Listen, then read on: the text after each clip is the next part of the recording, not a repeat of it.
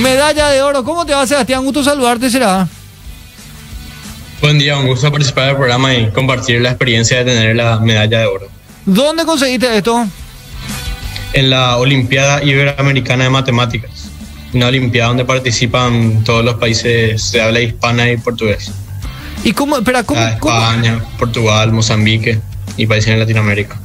cómo se hace para, o sea, para definir quién es el que gana? ¿Te dan tipo problemas? ¿Te dan situaciones matemáticas que resolver? ¿Tenés que hallar el seno, el coseno y la hipotenusa? ¿Tenés que hacer el máximo común divisor, el mínimo común múltiplo? Yo te digo las cosas que me acuerdo, ¿eh? no sé ni cómo se hacen, pero me acuerdo que existían. ¿Entendés? ¿Cómo es? Son dos días de examen, cada día tenés cuatro horas y media y tres problemas. Son solamente tres problemas, pero de alta co- complejidad. Va aumentando la, es, va aumentando la dificultad de los problemas cada día y son problemas largos de explicar. Es, es un razonamiento. Y si dura cuatro horas, hermano querido, dejate Sí. de hinchar. Y esto, esto se hizo, que, esto se hizo que pasar rápido los, tenés que pasar rápido los primeros problemas para poder dejar tiempo para el- los últimos porque son problemas lo que tienes que requerirle horas de estar pensando y escribiendo para explicar también cómo llegar a la solución, que es lo que califican. Qué loco. Y esto se hizo online ahora, Sebastián. Sí, normalmente se elige una sede y, eh, y ahí se realiza la Olimpiada. Este año iba a ser Perú, pero por la situación actual se realizó de forma virtual. Perú fue los organizadores, hicieron una plataforma para rendir los exámenes y la inauguración, ceremonia de eh, la premiación y los exámenes se realizaron todos de forma virtual. Y, los problemas, c- ¿cómo serían? O sea, pero son problemas eh, todos numéricos o de situaciones así como... eh, eh, Graciela compró una bolsa de 12 tomates. Cuatro tomates le dio a Lucas.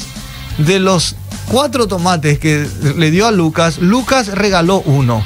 ¿Con cuántos tomates se quedó Graciela? ¿Así o no? ¿Cómo, cómo son las preguntas? Y algunos problemas tienen sus enunciados así, pero igual muchos problemas se escriben ya de forma más técnica por el nivel que tiene la Olimpiada. Como que ese mismo enunciado ellos traducen a algo que sea completamente técnico.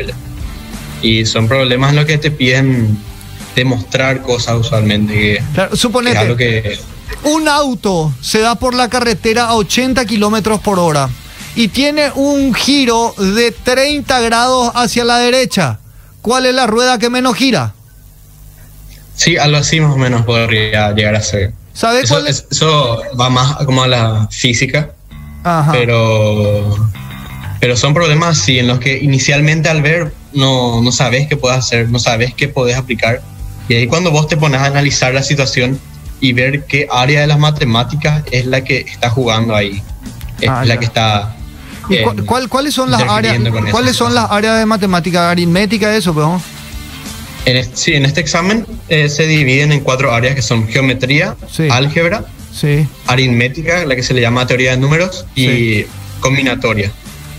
Ah, ya ahí ya me En confundí. este caso, geometría son lo que son los dibujos, eso de los grados, seno, coseno. Sí. Álgebra es cuando ecuaciones.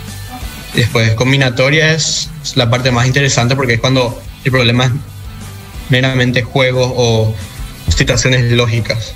Usualmente se suelen ver así por redes sociales, problemas lógicos así, Claro. en los que Eso de dos bananas. leer no Dos bananas son igual a 10, dos bananas, una pera igual a 20 y después eh, así, o sea, eso- esos problemas son...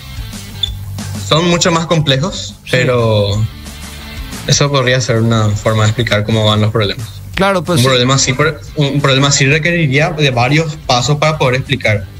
Diría en el primer enunciado así, bueno, la banana tiene que valer tanto por tal cosa. Claro. Y de esa forma es la que explicas. Son situaciones más complejas, pero es el mismo procedimiento. Bueno, igual yo te voy a explicar una cosa. Si un auto se está yendo por la carretera a 80 kilómetros por hora sostenido y tiene una curva de 30 grados a la derecha, la rueda que menos gira es la de auxilio. Que se- Ahí hay, que, razonamiento fuera de la caja. hay que ten- hay que tener en cuenta, papá. Hay que tener en cuenta. Bueno, ¿cuántos participantes hubo? ¿Cuántos participantes hubo, Seba? Eh, creo que era más o menos 84 participantes. Qué grande. Los cuatro mejores de cada uno de los países participantes eran más de 20 países. Felicitaciones, papá. Un orgullo, la verdad, que un paraguayo demuestre que también nos destacamos con inteligencia, dedicación y con rapidez mental que también tiene que ver con, con esto. Así que... Sí, el tiempo es fundamental en esto. Sí.